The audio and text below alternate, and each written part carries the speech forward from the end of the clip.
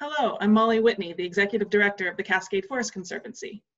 We are a nonprofit based out of Portland, Oregon and Vancouver, Washington that works to protect and sustain forests, streams, wildlife, and communities in the heart of the Cascades through conservation, education, and advocacy. We've been around since 1985, formally as the Gifford Pinchot Task Force, and we're excited to be celebrating our 35th anniversary. We've grown a lot over the years, and we now represent over 1,200 members and supporters to trust us and advocate for, to trust us and advocate for, conserve, and protect the Gifford Pinchot National Forest and surrounding areas. To do this, we implement diverse conservation strategies such as policy, collaboration, advocacy, and on-the-ground research. This takes a variety of forms from beaver reintroduction, pre and post fire work, aquatic habitat restoration, watchdogging federal and state policies, commenting on timber sales, and protecting the landscape from threats such as a road across the pumice plain and an open pit mine like we'll be talking about today.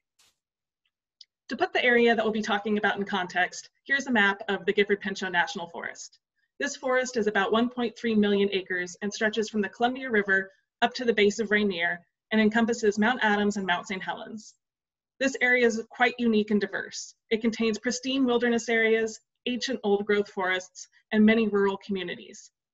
Many people depend on the forest um, through tourism, recreation, and natural resource harvesting and gathering, like logging and huckleberry picking. Understanding this landscape helps to see why it's so important to stop a mine from being placed on the border of the Mount St. Helens Monument in the Green River Valley. Let me turn things over to Lucy Brookham, our policy manager, to tell you more about our No Place for a Mine campaign. Thanks, Molly. Hello, everyone. My name is Lucy Brookham, and I'm the policy manager for CFC. I'm going to talk to you about the beautiful Green River Valley, where the mine site is proposed, the potential consequences of this proposal, and the actions we've been taking as an organization to prevent this mine from going ahead. The pictured here is the Green River Valley, a lush habitat for wildlife. It's a thriving forest with the Green River running through, which is a river that is eligible for wild and scenic status due to its out outstanding aquatic and spawning habitat for salmon and steelhead. The pictured here is the proposed mine site in proximity to Mount St. Helens National Volcanic Monument, as you can see, Goat Mountain is located behind Spirit Lake in close proximity to Mount St. Helens. In fact, when the original monument boundary was proposed, these lands were all included into the monument boundary. They were removed because of the mineral rights in the area. An open pit mine would destroy 4,000 to 6,000 acres of this pristine habitat. As you can see from this photo, half this mountain would disappear and would be viewed from the surrounding areas for miles. Just the prospective drilling alone that has already been approved would have significant impacts on this place. This supposed small scale prospecting actually impacts over 900 acres. Again, just looking at this photo here, you can see what kind of visual impacts that would have. And this proposal includes 63 drill holes over 23 sites, hardly a small affair. It would affect recreation, wildlife, and peaceful enjoyment of this area that part about recreation and enjoyment is extremely important because a majority of the large portion of lands where the mine site is proposed were purchased by the Forest Service using funding from the Land and Water Conservation Fund, the LWCF. The LWCF is a really important tool for protecting public lands from threats like ours, like mining. So the lands were purchased to aid preservation of the scenic beauty in the area and the Green River before it enters the volcanic monument due to its really close proximity. So back in our case in 2014, a federal court invalidated previously granted drilling permits because the environmental analysis did not consider impacts to recreation at all, which is a requirement of the LWCF. As I mentioned, this is a highly recreated area. It's an incredible place for hiking, for horseback riding, for fishing in the Green River, there are hunting opportunities, especially elk. There's mountain biking, wildlife, and wildflowers all over in spring. And there's also berry picking. I've been lucky enough to hike the Green River Mountain Trails. And at the top of Goat Mountain, the panorama is absolutely breathtaking, with views of Mount Rainier, Mount St. Helens, Mount Adams, and the Green River Valley. So this trail up Goat Mountain, it winds round and looks directly over the proposed mine site. The visuals and sounds from drilling itself will completely destroy this experience and the experience of recreating the area completely. let alone the indefinite trail closures due to this drilling. Last time I was up on Goat Mountain in the fall, I ran into a gentleman hunting elk. Luckily, I was wearing orange. So the Green River Valley and the proposed mine site are abundant with wildlife due to the diverse landscapes created by the 1980 eruption of Mount St. Helens. There are pockets of old growth that escape the blast that provide habitat for the northern spotted owl and other old growth dependent species. The northern spotted owl is officially recognized as threatened under the Endangered Species Act, and it is critical to protect its habitat from intrusive and invasive activities like mining, exactly like the mine that is proposed right now. Elk, bears, mountain goats, and other species utilize forest openings in the area created by the eruption. The surrounding area is historically one of the largest elk herds in Washington state, and loud and continuous thumping from drilling activities alone are likely to disperse elk from the area, potentially indefinitely.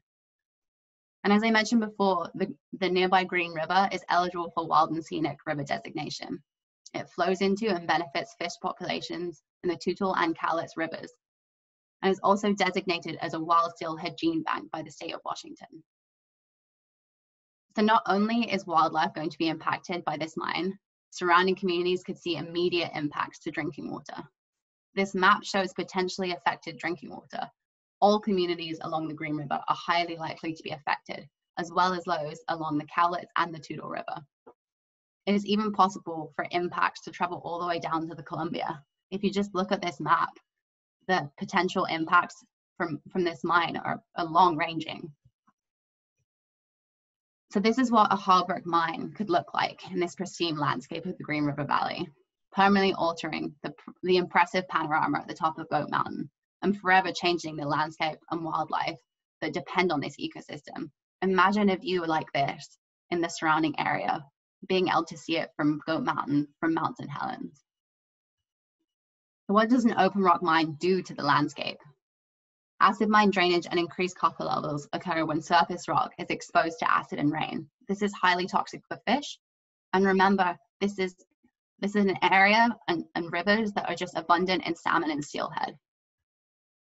So mine waste needs to be stored on, on, on site in tailing pools or piles, and tailing dams can be breached, sending toxic waste into downstream communities.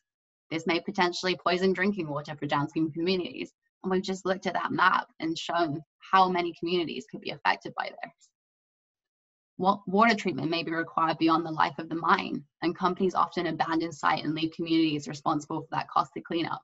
It could take decades, if not never returning this landscape and these rivers back to their, their state before this happens. And although a mine might seem like a boost for the local economy or an opportunity for jobs recreation brings large percentage, percentages of jobs and revenue to East Lewis County and the towns closest to Goat Mountain and the Green River access. In fact, recreation on public lands in the county provides 2,400 jobs and brings 253 million to the local economy every year. And over half of that is supported by East Lewis County alone.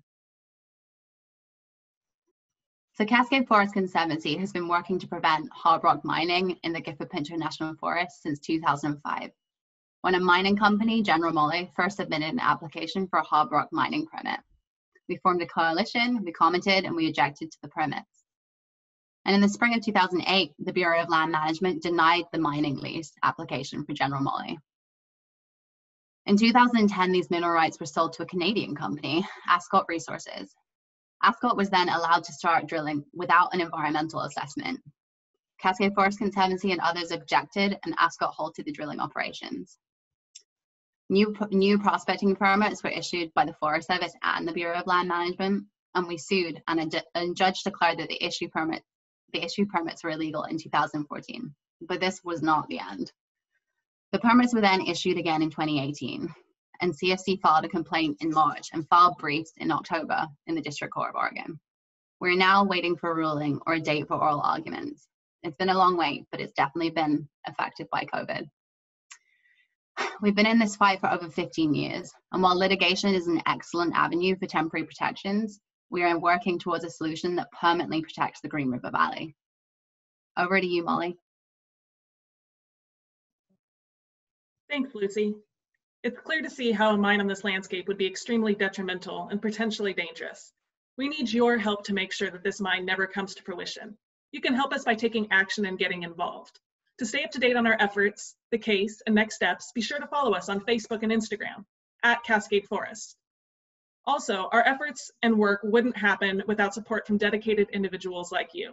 Please donate to support CFC and to protect the Green River Valley. In fact, we have an exciting opportunity for our viewers today. We have this hoodie, which has our Mount St. Helens No Place for a Mine slogan on the back and the Cascade Forest Conservancy logo on the front for those supporters who sign up for a sustaining membership of $20 a month. Please join us and help us stop this mine and support all of our programs. Also, changes occur when people like you speak out. Please, especially if you're a Washington resident, contact your senators and representatives to let them know that you're against this mine and any exploratory drilling. For, for more information on how to get involved or to get one of these hoodies, email us at info at cascadeforest.org.